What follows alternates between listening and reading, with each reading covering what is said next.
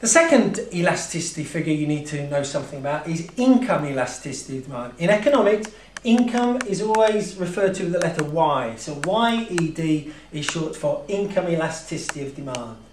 First of all, know the formula. The formula, percentage change in quantity demanded divided by percentage change in income. In this case, we're asking how much will demand for a particular product respond in response to a change in income. So let's look at an example. In 2000, incomes in the UK increased by 4%. In the same year, gym memberships rose by 6%. So we can work out the income elasticity of demand. The income elasticity of demand will be the percentage change in quantity demanded, which in this case is 6%, so it's plus 6, divided by the percentage change in income, and we're told that income's increased by 4%. So that would be plus 4. So, work it out, you get plus 1.5. Okay, so that's the first two stages. The third stage is to comment on what this means. Now remember, you've got to comment on two things. You've got to comment on the sign and you've got to comment on the size. When you're looking at income elasticity of demand, the sign can be either positive or negative. In this case, we've got a positive number, okay, a positive number. If it's a positive number, it means that the product is a normal good. In economics, a normal good is one which you buy more of as your income goes up and you buy less of as your income goes down. So, this case is definitely a normal good. The second thing you can do is you can look at the size of the number. Once again, you compare it to 1. In this case, we've got a number 1.5, which is evidently greater than 1.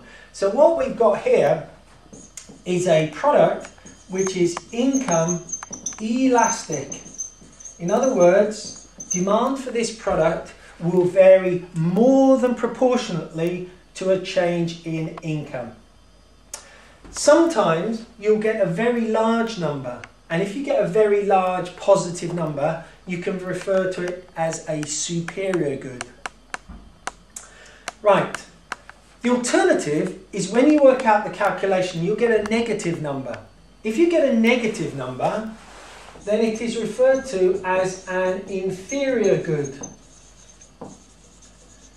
And once again, in economics, an inferior good is defined as one that you buy more of as your income goes down and less of as your income goes up.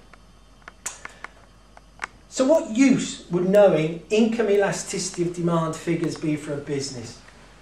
The key thing is that it will help the business plan for the future output or production. If it's selling a normal good, so if you're running a series of gyms in the UK and incomes in the UK have been rising over time, then you know that more and more people will be taking out gym memberships. And so you can plan to expand your gyms across the region or across the country. But you'll also know that if incomes fall, if the economy goes into a recession or a particular area is hit badly by, say, a closure of a major employer, then the sales of gym memberships will fall by 1.5 times whatever the fall in income is. So if income falls by 6% in a region, then the gym memberships will go down by 1.5 times 6 or 9%.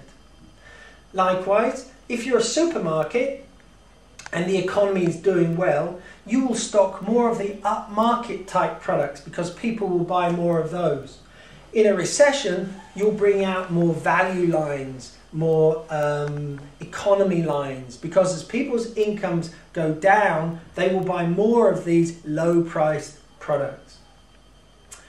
Once again, however, the firm should not place too much emphasis on the figure. The key issue I would focus in on here is, is, is how relevant is this income elasticity figure to your business? So what we've got here is the UK figure is plus 1.5. But if you're running a series of gyms in the West Midland, is the figure 1.5 relevant to you? Is it going to be higher or lower in the West Midlands? So ask, if it's a national figure, is it relevant to you?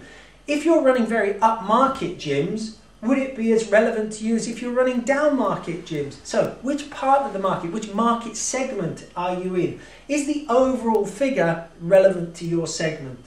You can then use all the uh, arguments I've explained before. You can question uh, whether the figure is an estimate, how valid is it, how did you gather the information, how old is the information, and all the other things I mentioned earlier. But specifically for this one, I would say how relevant is the overall national figure for your particular region? Or if it's an income elasticity figure for internal flights in the UK, how relevant is it for the flight that you run from Norwich to Manchester or from Norwich to Newquay?